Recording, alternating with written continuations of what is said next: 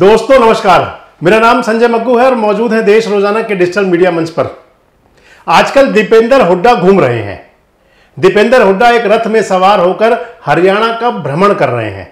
और इस भ्रमण के दौरान वो हरियाणा सरकार से, यानी कि जो भारतीय जनता पार्टी की आजकल की नायब सरकार है, जो उत्तराधिकारी के रूप में आए मनोहर लाल के, उनसे जवाब मांग रहे हैं। हरियाणा की भारतीय जनता पार्टी के 10 साल की जो सरकार है, उससे 15 सवालों पर 15 सूत्रों पर जवाब मांग रहे हैं दीपेंद्र हुड्डा। और जो उनकी रथ यात्रा चल रही है, जो उनका रोड शो हो रहा है, उसका नाम रखा गया है कि जवाब माँगता है हरियाणा, पूछता है हरियाणा। दोस्तों, जब जब भी चुनाव आते हैं तो चुनाव के दौरान में इस प्रकार की यात्राएँ पद यात्राएँ रोड शो, बस यात्रा, रथ यात्रा, ये सब चला करता है। और आपको ध्यान होगा कि 2019 का जब विधानसभा चुनाव हुआ था तो उस चुनाव के अंदर जो उस समय के मुख्यमंत्री थे मनोहर लाल, वो पूरे हरियाणा में एक रथ लेकर घूमे थे। हरियाणा एक, हरियाणवी एक का नारा देकर वो चुनाव मैदान में उतरे थे, पिछहत्तर पार का नारा देकर के।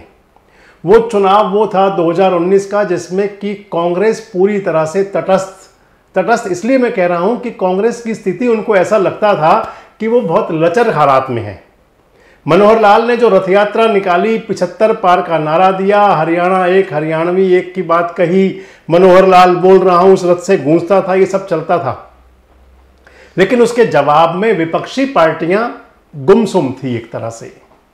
और जब चुनाव हुआ तो चुनाव के बाद में चुनाव का परिणाम आया। चुनाव परिणाम के अंदर जो पिछहत्तर पार के नारे के साथ रथ यात्रा निकाली थी मनोहर लाल ने वो 40 पर अटक गई।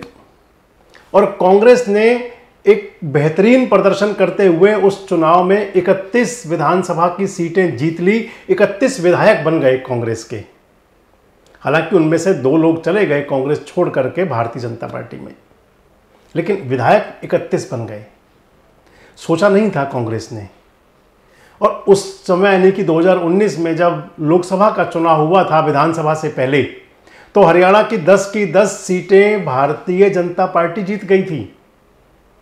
चौवन परसेंट से ज़्यादा उनको वोट मिला था लोकसभा में। और जब विधानसभा का चुनाव हुआ तो विधानसभा चुनाव में वो हालात, नज़रिया, नजराने सब कुछ बदल गए। और अब जब 2024 की तैयारी है, जब 2024 में कांग्रेस ने पाँच सीटें जीत ली और भारतीय जनता पार्टी पाँच सीटें हार गई। मैं इसलिए कह रहा हूँ कि क्योंकि भारतीय जनता पार्टी के 10 सांसद थे 10 में से पाँच रह गए और कांग्रेस के ज़ीरो थे, ज़ीरो से पाँच हो गए। इसलिए मैंने कहा कि कांग्रेस पाँच जीत गई और बीजेपी पाँच हार गई। इस चुनाव परिणाम के बाद में, जो लोकसभा का चुनाव परिणाम आया, न केवल हरियाणा, बल्कि पूरे देश के अंदर, खासकर कांग्रेस और विपक्ष के अंदर एक नए उत्साह का संचार हुआ।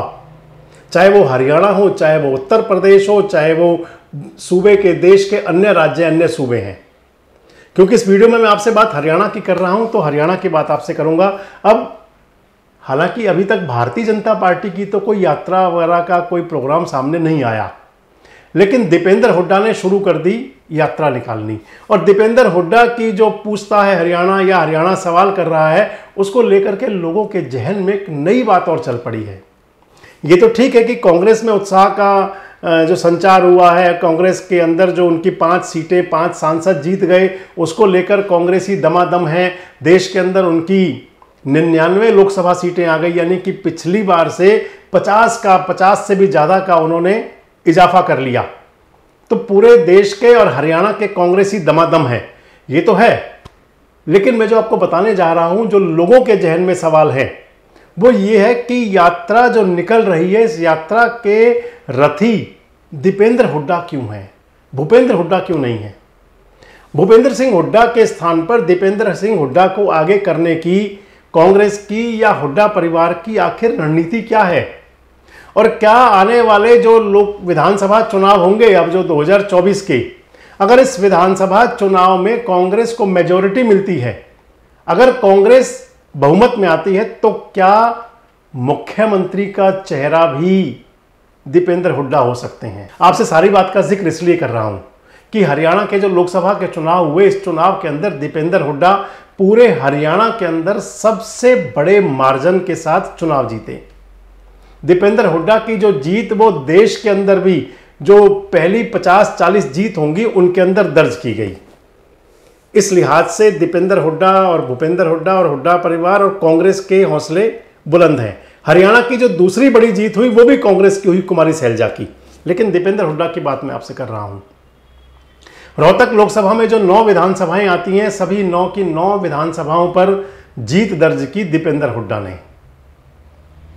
और उस चुनाव के बाद में, यानी कि जो हरियाणा का लोकसभा का चुनाव हो गया, चुनाव तो पूरे देश का हुआ लेकिन हरियाणा के जो चुनाव परिणाम जिसके अंदर कांग्रेस ने पाँच सीटें जीती, उसके बाद आप ये माने कि कुमारी सैलजा के अलावा जो बाकी चार सांसद हैं, दीपेंद्र हुड्डा सहित, वो सभी हुड्डा परिवार, दीपेंद्र हुड्डा, भूपेंद्र हुड्डा के बगल गिर रहते हैं, उनके साथ रहते हैं।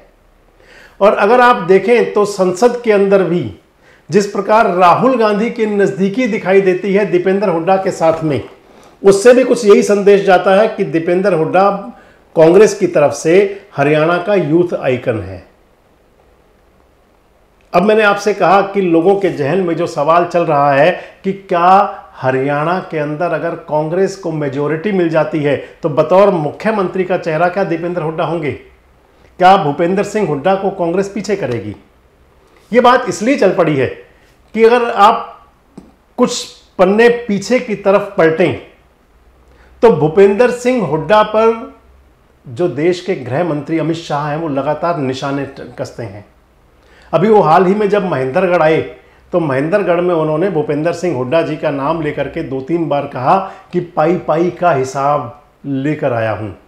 कहने और उसके पीछे के अंदाज के पीछे जो बात होती है, उस पर लोगों की निगाह ज़रूर जाती है, उस पर लोगों का ध्यान ज़रूर जाता है, और जो अमित शाह ने कहा कि पाई पाई का हिसाब क्योंकि भूपेंद्र सिंह हुड्डा पर भारतीय जनता पार्टी की सरकार ने, केंद्र की सरकार ने, हरियाणा की सरकार ने, अगर आपको ध्यान होगा तो शिकंजा कसा था।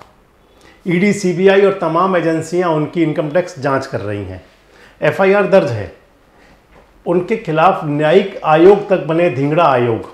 हालाँकि वो धिंगड़ा आयोग की जो सिफारिश थी और धिंगड़ा आयोग पर भी जब पिछले दिनों आरोप लगे तो कहीं हरियाणा सरकार एक बार बैकफुट पर थी, लेकिन पिछले दिनों उस धिंगड़ा आयोग को एक फिर से सरकार ने जीवंत कर दिया।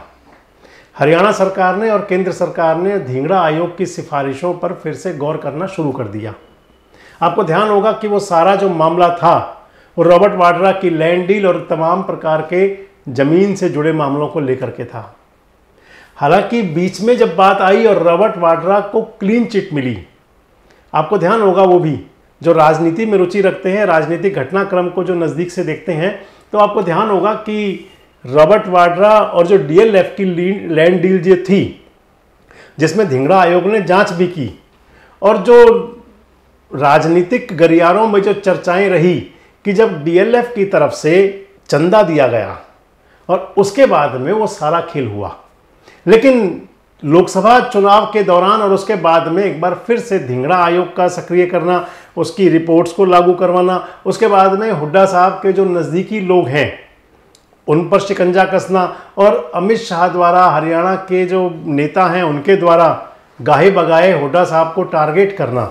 इन सबको देखते हुए ऐसा लगता है कि जैसे कांग्रेस ने या हुड्डा परिवार ने खुद ये मन बना लिया हो कि अगर कहीं सरकार भूपेंद्र सिंह हुड्डा पर किसी प्रकार का कोई शिकंजा, कसे या भूपेंद्र सिंह हुड्डा पर किसी प्रकार की आँच आए तो उस स्थिति में दीपेंद्र हुड्डा को आगे कर दिया जाए, दीपेंद्र हुड्डा को चेहरा बना दिया जाए। और मैं तो ये मानता हूँ कि जो ये यात्रा चल रही है, जिस यात्रा के रथी बने हैं, यानी कि जिस यात्रा का नेतृत्व कर रहे हैं दीपेंद्र हुड्डा, इसके पीछे भी आप मान करके चलें कि कोई यही रणनीति है। कि अगर कुछ ऐसा होगा तो क्योंकि दीपेंद्र हुड्डा आप ये मान करके चलें कि दीपेंद्र हुड्डा की कांग्रेस दलों में स्वीकार्यता तो पहले से है। दीपेंद्र हुड्डा यूथ आइकन है मैंने आपको बताया, दीपेंद्र, हालाँकि भूपेंद्र हुड्डा खुद भी, जो भूपेंद्र सिंह हुड्डा हैं, वो खुद भी सॉफ्ट सौम्य लोगों के साथ उनका जो व्यवहार बर्ताव अच्छा होता है। लेकिन दीपेंद्र हुड्डा उनसे भी दो कदम आगे बढ़कर हैं। और इस लोकसभा चुनाव में जिस प्रकार से मेहनत दीपेंद्र हुड्डा ने की, उससे उन्होंने ये भी दिखा दिया कि वो राजनीति के अंदर वो सब कर सकते हैं जो मंझे हुए नेता किया करते हैं। कोसली की जीत जो उनकी लोकसभा में हुई, भले ही वो दो वोट से जीते, लेकिन छिहत्तर हज़ार के आंकड़े को और दो वोट प्लस लेकर के आना जब छिहत्तर हज़ार की हार थी, उसको वहाँ तक जीत में ले आना, ये दीपेंद्र हुड्डा ने बता दिया कि मैं ये कर सकता हूँ। और आप मान करके चलें कि जो यात्रा चल रही है, इस यात्रा का राजनीतिक जो विश्लेषक हैं, वो अनुमान लगा रहे हैं कि इस यात्रा का उद्देश्य यही है कि दीपेंद्र हुड्डा को पहले से ही फेस बना दिया जाए। अगर कहीं ऐसा चलता है, भूपेंद्र सिंह हुड्डा पर अगर किसी प्रकार की कोई आँच आती है या सरकार की तरफ़ से कुछ ऐसा होता है, या कांग्रेस की जो इंटरनल जो पॉलिटिक्स है उस सबसे उभरने के लिए भी कांग्रेस आला कमान बजाय भूपेंद्र हुड्डा के फिर दीपेंद्र हुड्डा को भी नाम पर सहमति बन सकती है। क्योंकि दीपेंद्र मैंने आपको पहले ही बताया कि आप संसद में देखते हो तो राहुल गांधी के बड़े नज़दीक दिखाई देते हैं। और अगर इसके अलावा भी देखें तो गांधी परिवार में सोनिया गांधी, प्रियंका गांधी वाड्रा और राहुल गांधी, खासकर क्योंकि अब राहुल गांधी और प्रियंका के हाथ में कमान है तो दीपेंद्र हुड्डा वैसे भी उनके क्लोज हैं। इन सबको देखते हुए, क्योंकि राजनीतिक घटनाक्रम बड़ी तेज़ी से बदला करता है अभी हाल ही में राव दान सिंह पर कल जो रेड शुरू हुई थी, सत्रह घंटे की रेड हुई, अगले वीडियो में आपसे बात करूँगा और रेड तो खत्म हो गई, लेकिन ईडी की रेड कई संदेश दे करके गई है। अगले वीडियो में आपको बताऊँगा कि भूपेंद्र सिंह हुड्डा के लिए क्या चेतावनी है उस रेड से। लेकिन इसमें आप ये मान करके चलें कि इन सबको देखते हुए अगर भूपेंद्र सिंह हुड्डा पर किसी भी प्रकार की कोई आँच आती है, या कोई कांग्रेस के इंटरनल पॉलिटिक्स से चलते कुछ होता है, या फिर कहीं ऐसा लगता है कि भूपेंद्र हुड्डा को अगर मुख्यमंत्री का चेहरा घोषित करके या मुख्यमंत्री बनाने के बाद में कुछ सरकार की तरफ़ से, सेंट्रल गवर्नमेंट की तरफ़ से, बीजेपी की तरफ़ से, सरकारी एजेंसीज की तरफ़ से किसी प्रकार का कोई अलग चक्र चले तो उस स्थिति में किसी भी प्रकार से बैकफुट पे न जाना पड़े। और इसी को देखते हुए ही दीपेंद्र हुड्डा को चुनाव से तीन महीने पहले ही एक यात्रा के ज़रिए प्रदेश के कोने कोने में घुमाकर ये संदेश दे दिया जाए कि दीपेंद्र हुड्डा यूथ आइकन है और कांग्रेस का चेहरा है। वैसे आपको क्या लगता है कि क्या दीपेंद्र हुड्डा को आगे करने के पीछे कांग्रेस की हुड्डा परिवार की कोई यही रणनीति है? आपको क्या लगता है कि क्या दीपेंद्र हुड्डा भी हरियाणा की राजनीति में अपनी स्वीकार्यता उसी प्रकार कर लेंगे कांग्रेस जनों में खासकर, जैसी भूपेंद्र सिंह हुड्डा की है? कमेंट्स बॉक्स में ज़रूर बताएँ, जुड़े रहे हमारे साथ, देखते रहे देश रोज़ाना। हमारे साथ जुड़े रहने के लिए देखते रहिए देश रोज़ाना का यूट्यूब चैनल। सब्सक्राइब कीजिए। साथ ही देश रोज़ाना की खबरें सबसे पहले देखने के लिए प्रेस कीजिए बेल आइकन।